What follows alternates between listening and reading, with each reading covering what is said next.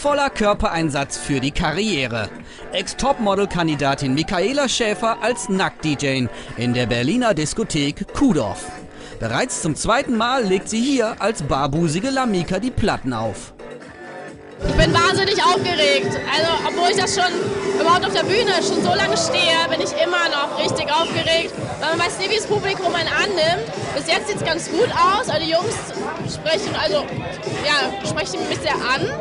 Und ich auch sehr die Jungs. Aber man weiß ja nie, es gibt ja auch noch die Mädels, wie die reagieren. Ne? Dann heißt es für Michaela, Musik ab, Top aus. Das Erotikmodel zieht für die grölende Menge blank. Das männliche Publikum ist von so viel Buseneinsatz natürlich schwer begeistert. Gar nicht mal so schlecht. Am DJ Polen ist das recht interessant, ja? Nicht nur was zum Hören, sondern auch was zum Sehen. Sie spielt einfach geile Musik, Mann. Sie ist cool. Und wie fand Michaela ihren Auftritt?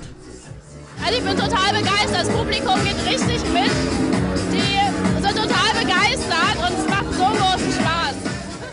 Michaela Schäfer, vom Model zur oben ohne DJing. Ob sie damit endlich den großen Durchbruch schafft, steht wohl in den Sternen.